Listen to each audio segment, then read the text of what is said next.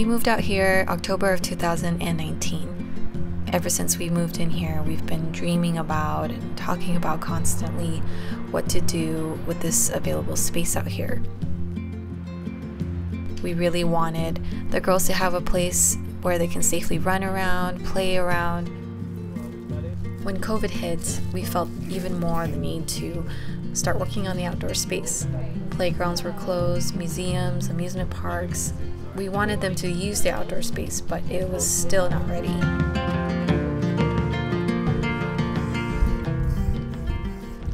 reason why we want to cut out that area is so trucks and people that come in can easily U-turn their way out. This is always a problem for us.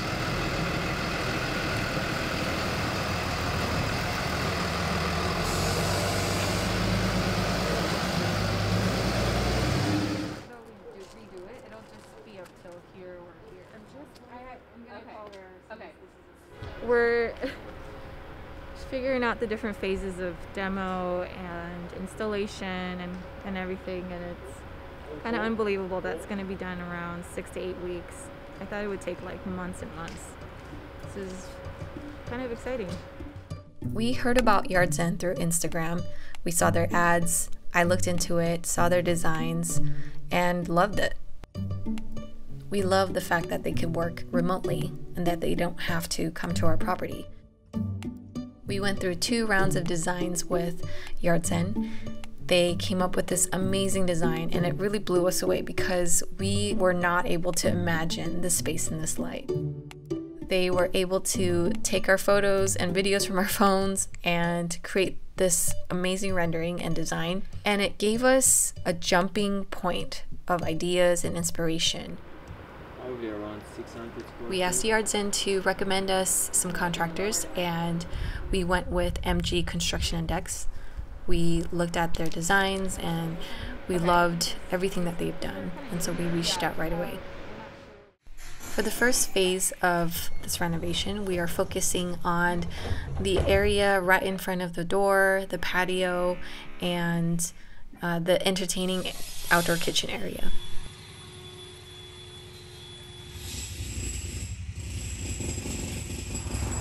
We had a bunch of these uh, broken slab pieces all over here, which was sort of a hazard for kids when they would run around um, because edges would stick up and trip them. My in laws are here. They're here to pick up the rocks and slab that we left over for them. They want to reuse that for their garden space, which is great. Melissa and I went to go look for some flooring materials, some tiles, some pavers. There was a lot of discussion about what is the best option. Do we go with tiles that are more uh, inexpensive than pavers but could easily crack over time? Or do we go with pavers that are more expensive but uh, will last for a very long time? Day two of demo and we have gotten a lot done. The contractors are so amazing. Uh, MG Construction & Decks, they're so quick, so professional. They have done most of the tiling, uh, removing of that existing ugly tiling that's been cracking. As you can see, the tiles are gone. We will be replacing them with new decking and we will be lighting up the steps as well so we could walk safely in the dark. This will all be uh, either in pavers or tiles. We're not sure exactly, maybe both. This is a retaining wall that they set up. Before this, this whole area was covered in like these hedges, like these bushes. We removed all of that. The contractors dug up all the roots and put that retaining wall over here just to create extra space for this area.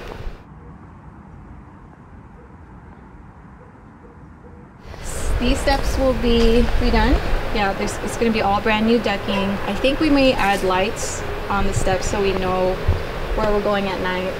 The top area, that retaining wall will just be kind of improved. We're going to reuse some of the brick that we removed over there and put it over there. So this is our like in-law suite, our guest house slash my office. Before the staircase went this way and out this way, and it was really hard for us to access the door and bring any furniture in or out of this place and so we're actually gonna move it down this way. And it also create more room for the kitchen. This is where we had our laundry hoist. So we're gonna still have our laundry hoist here because we get such good like wind over here and sunshine. So we're gonna set it up here. But we're gonna have to create some room this way to uh, create steps down because we wanna be able to access that lower area from here. This is a big concern of mine that I'm hoping we can resolve.